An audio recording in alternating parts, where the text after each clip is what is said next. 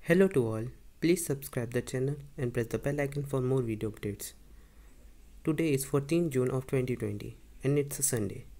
So let's start the analysis of the newspaper The Hindu. Our first news is आज की पहली news जो देखेंगे Nepal passes amendment on new map. The lower house of Nepal's parliament on Saturday unanimously voted for the second constitution amendment bill which guarantees legal status for the new political map of the country that includes part of Indian territory in Uttarakhand.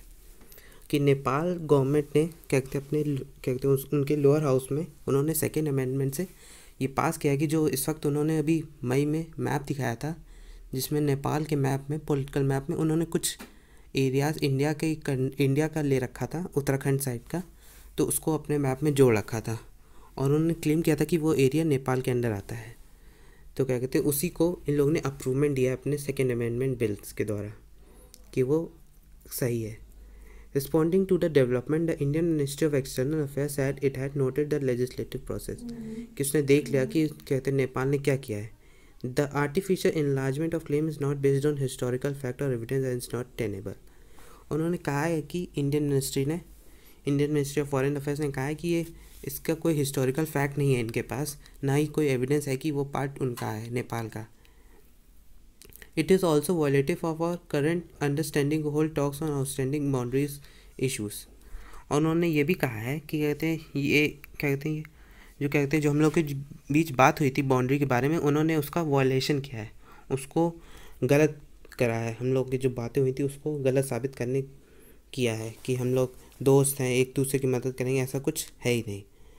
तो क्योंकि वो लोग तो India का ही area Uttarakhand area ही लेने, अपने मैप में जोड़ रहे हैं कुछ उसका डिस्ट्रिक्ट कुछ district Nepal claims the land to which east of river Kali which forms the country's western border as per Kathmandu's understanding the river originate from Limpiyadhura in the higher Himalayas giving access to triangular shape land defined by Limpiyadhura and Lipulekh and Kalapani जो तीन area है, इसको माना जाता है कि ये Nepal territory में आते हैं।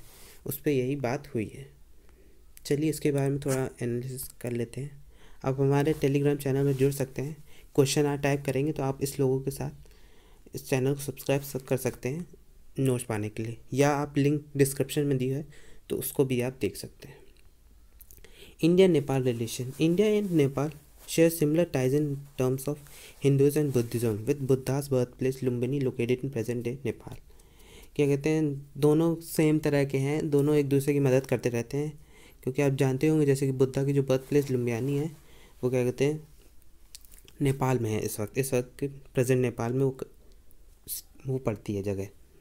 The two countries not only share an open border and unhindered movement of people but they also have close bond to marriages and familial ties popularly known as रोटी बेटी का रिश्ता और क्या कहते हैं इसमें भी माना जाता है कि क्या कहते हैं, ये लोग सिर्फ़ ओपन बॉर्डर नहीं है कि इंडिया नेपाल के बीच में ओपन बॉर्डर है या हम लोग लड़ते नहीं एक दूसरे में से या हम लोग के, क्या कहते हैं इसमें कहा गया ऐसा रिश्ता है जैसे रोटी बेटी का, रोटी बेटी का रिश्ता है, ऐसा हो गया इंडिया नेपाल का रिश्ता इसमें ये ये भी बताया गया है कि the Indian Nepal treaty of friend peace and friendship of 1950 forms the bedrock of the special relation that exist between India Nepal. इसमें कहा गया जो इंडिया नेपाल के बीच में ट्रीटी साइन हुई थी, पीस एंड फ्रेंडशिप की 1950 तो उसमें क्या कहते हैं, ये उसी का, वो एक बेसिक था बेस बनाया गया था, जिससे ये रिलेशन रह सके, दोस्ती का फ्रेंडशिप का, और पीस रह सके दोनों कंट्री में।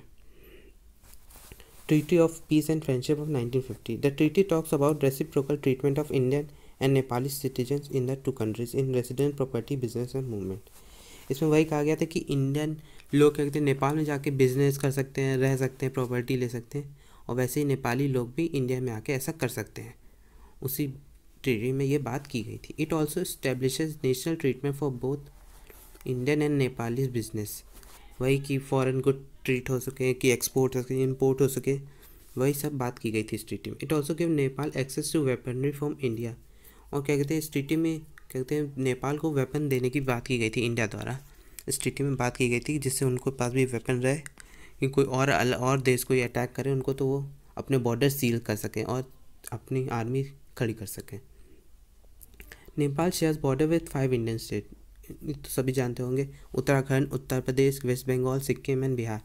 इन स्टेटों के साथ कहते हैं नेपाल अपनी बाउंड्री शेयर करता है।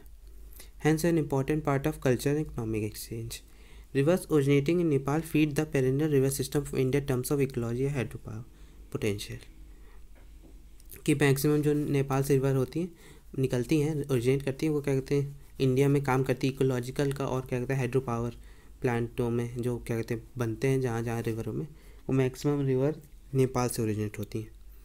The treaty of Sugauli also spelled Sugauli Sagauli Sugoli and Segowlee the treaty the establish boundary line of Nepal जिस ट्रीटी ने बाउंड्री लाइन ऑफ़ नेपाल बनाया था दो दिसंबर 1850 में। 1850 में ratified by a fourth March 1860 between the East India Company and king of Nepal following the Anglo Nepalese war of 1814-16 कहते हैं ये तब बनाई गई थी जब ईस्ट इंडिया कंपनी और नेपाली किंग के बीच में वॉर हुई थी। उसके बाद से बनाया गया था एंग्लो नेपालीज वॉर 1814 से जो 1816 तक चली थी उस वॉर के बाद। Mahakali treaty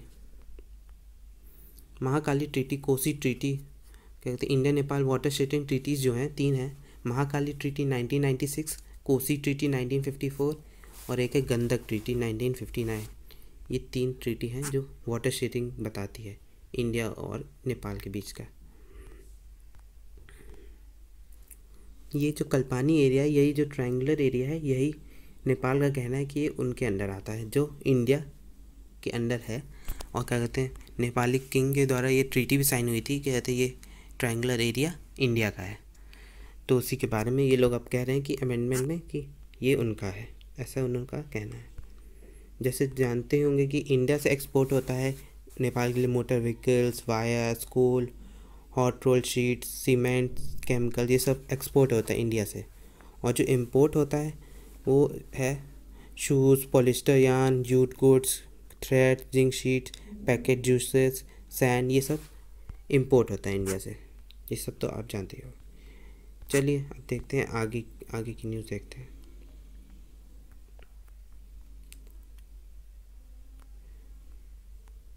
Mister Reddy to others to make Gilead's remdesivir doctor Reddy's laboratory on Saturday Saturday signed a non exclusive licensing agreement with Gilead science to register manufacture and sell the US biopharmaceutical firm's antiviral drug remdesivir that has emerged as a potential treatment for कोविड-19 इसमें यही बताया गया कि जो doctor Reddy laboratory है, उसने sign किया है एक non exclusive license agreement sign किया है, जिस वो गिलियड इन साइंसेस के साथ, कि वो रेमडेसिविर बनाएँगे, जो क्या कहते हैं, बहुत ही यूज़फुल है इस कोविड नाइन्टीन पेशेंट्स के लिए, क्योंकि एक एंटीमेरल ड्रग है मलेरिया में यूज़ होती है, लेकिन इसमें भी सहायक है कोविड नाइन्टीन पेशेंट्स के लिए।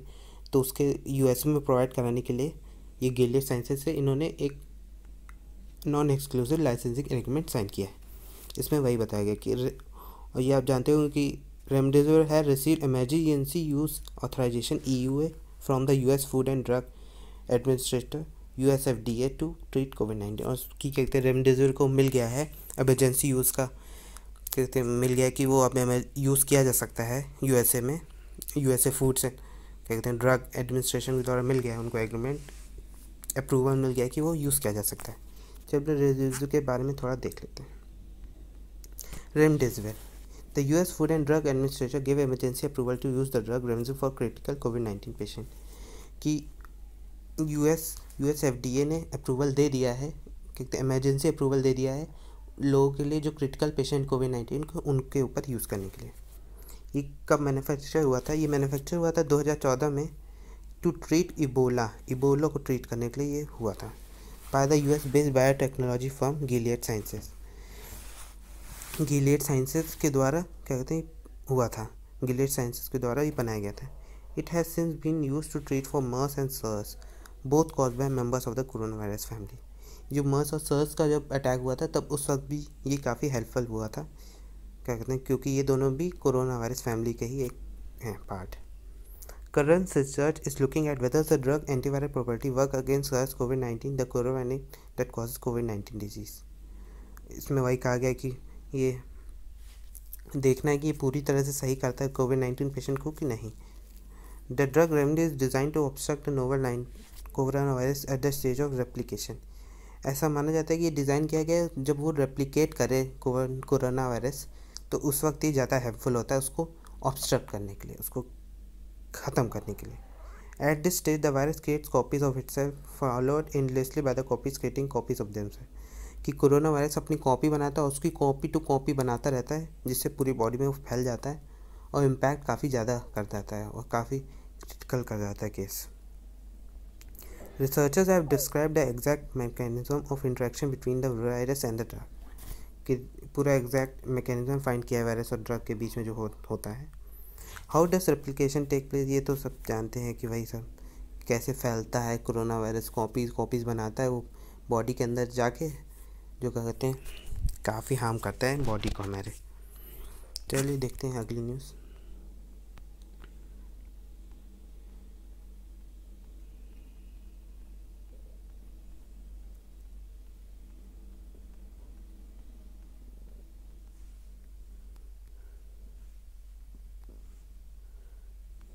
attorney general may get one year extension जो इस वक्त अटॉर्नी जनरल हमारे के क्यू वेणुगोपाल जो इनको वन ईयर का एक्सटेंशन मिला है, जिनका थ्री ईयर टेन्योर तीन साल का टेन्योर ख़त्म हो चुका है। तीस जनवरी थर्टी को ख़त्म हो रहा है, लेकिन उनको अब तीन साल का एक्सटेंशन एक साल का एक्सटेंशन मिल गया, जिनकी एज एट्टी नाइन है।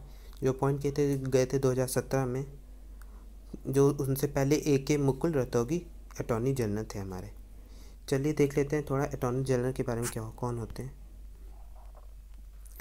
Attorney general is the principal legal adviser and lawyer of the government of India जो हमारे अटॉर्नी जनरल होते हैं, वो क्या कहते हैं, हमारे लीगल एडवाइज़र होते हैं और एक लॉयर होते हैं गवर्नमेंट ऑफ़ इंडिया के द्वारा। The constitution under article seventy six has provided for the office of the attorney general of India कि कॉन्स्टिट्यूशन ने आर्टिकल ट्वेंटी सेवेंटी सिक्स के द्वारा attorney general of India appoint किया है। He is appointed by the president and holds the office during the pleasure of the president ये कहते हैं? ये प्रेसिडेंट के द्वारा अपॉइंट किए जाते हैं और क्या कहते हैं? जब तक प्रेसिडेंट चाहे तो ये काम कर सकते हैं। He must be a person who is qualified to be appointed as a जज ऑफ़ द सुप्रीम कोर्ट ये इतने क्वालिफाइड होते हैं कि एक जज हो सकते हैं सुप्रीम कोर्ट के, इतने क्वालिफाइड अटॉर्नी जनरल होते हैं। चलिए अटॉर्नी जनरल के बारे में हो गया, आगे की न्यूज़ देखते हैं।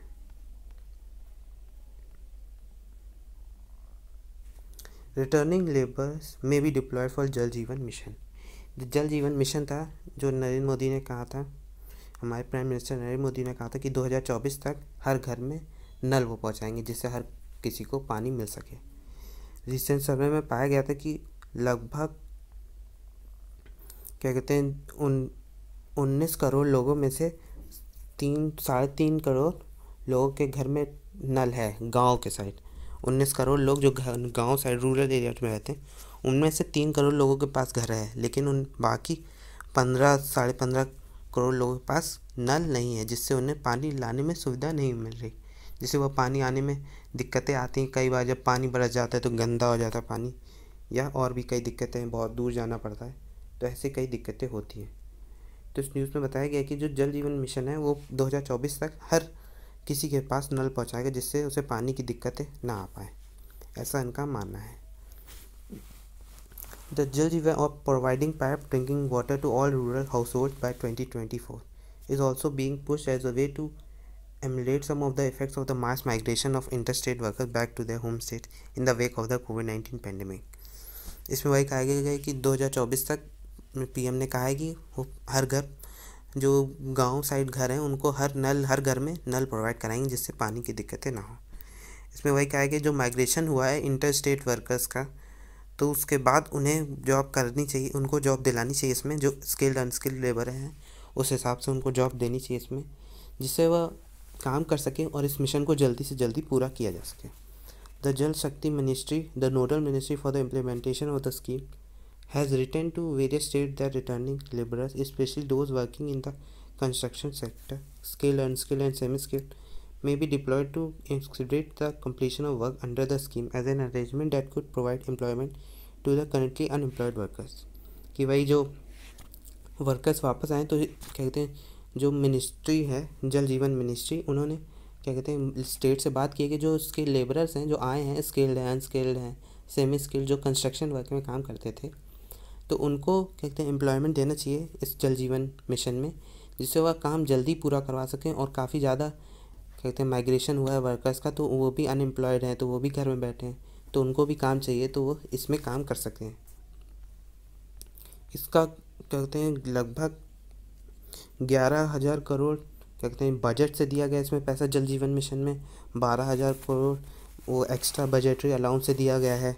और लगभग टोटल इसमें इसका total allocation to the scheme is over three lakh crore इसका टोटल अमाउंट लगभग तीन लाख करोड़ है जल जीवन मिशन का। चलिए देख लेते थोड़ा जल जीवन मिशन के बारे में।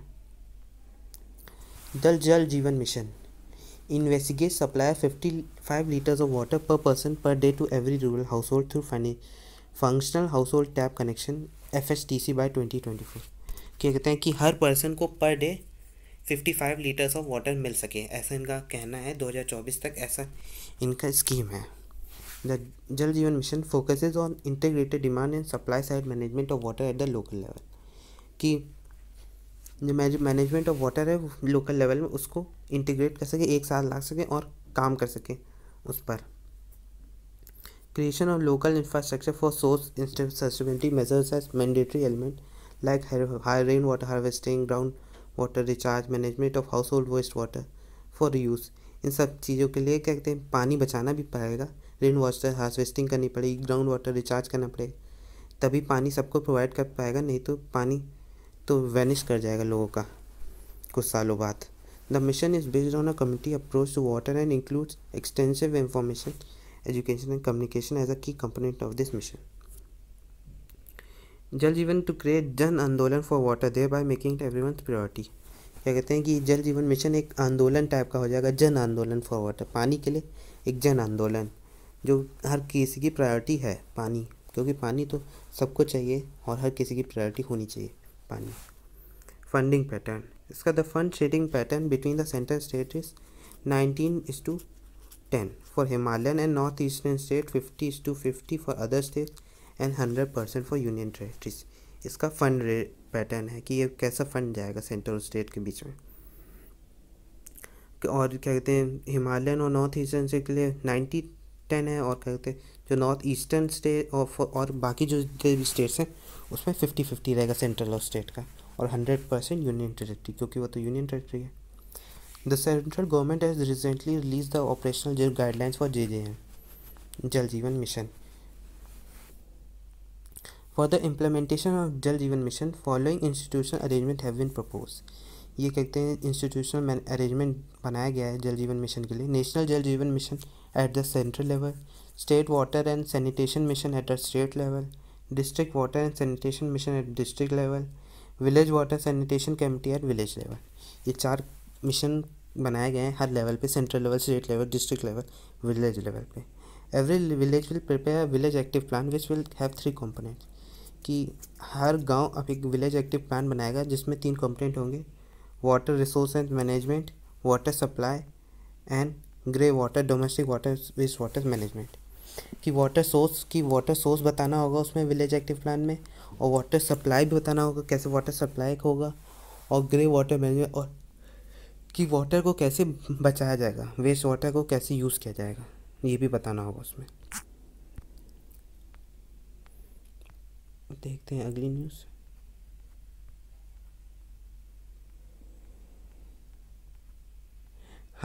hydroxychloroquine does not reduce mortality recovery trial finds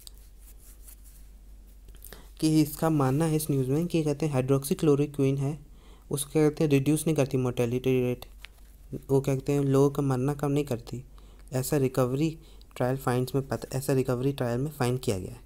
चलिए देख लेते हैं हाइड्रोक्सी क्लोरिन के बारे में थोड़ा जान लेते हैं hydroxychloroquine it is an anti malarial drug and is also prescribed in certain other cases ये एंटी मेरियल ड्रग है मलेरिया के समय यूज़ की जाती है पेशेंट्स में, और ये अदर केसेस और भी कई केसेस तब यूज़ की जाती है। ये लेक्स टॉक्सिक रहती है क्लोरोक्विन से लेक्स टॉक्सिक रहती है। और क्या कहते हैं, ये रियोमेटेड एथराइटिस और लूपस पेशेंट्स के लिए भी यूज़ की जाती है एथराइटिस के बारे, के लिए भी। To market research from A I O C D एवेकस Pharmatrac chloroquine has a market serve around only rupees one fifty two point eight zero crore in the last twelve month लगभग एक साल में इसका जो मार्केट साइज़ था, वो one fifty to crore था। One fifty three मान लीजिए nearly one fifty three crore Mumbai based LPC laboratory had nearly 82% of the market with its and H and HQ. Around 80% of the volume produced by IFC are exported जो 80% produce होता था I F में, जो मुंबई में laboratory थी, उसमें उसका 80% export किया जाता था। Ahmedabad based Cadila health care prevails the brand J Y Q with eight percent of the market वो eight percent of the market बनाता था। जो मुंबई में था, वो एट्टी टू परसेंट और जो अहमदाबाद में था, वो एट परसेंट। और भी कई ऐसी थी, जैसे वॉलेस फार्मास्यूटिकल्स टोरेंट फार्मास्यूटिकल्स और overseas health care private limited उनका भी छोटा छोटा शेयर था इसमें। तो आज के लिए इतना ही। तो thank you for the today आप हमारे टेलीग्राम चैनल को सब्सक्राइब कर सकते हैं और कहते हैं नोट्स के लिए। और thank you for the today thank you